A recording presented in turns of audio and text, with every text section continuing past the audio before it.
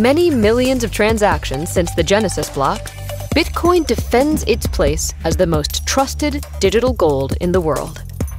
However, there are still obstacles in sight before it can also become the trusted medium for all of finance. In fact, any alternative use of the Bitcoin blockchain has to compete for space inside Bitcoin transactions. This is why smart contracts and financial applications are deliberately limited in favor of efficiency. That is, at least, until Mintlayer.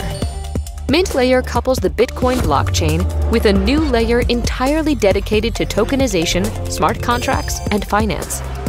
Every 1008 Bitcoin blocks constitutes a Mintlayer round of block creation.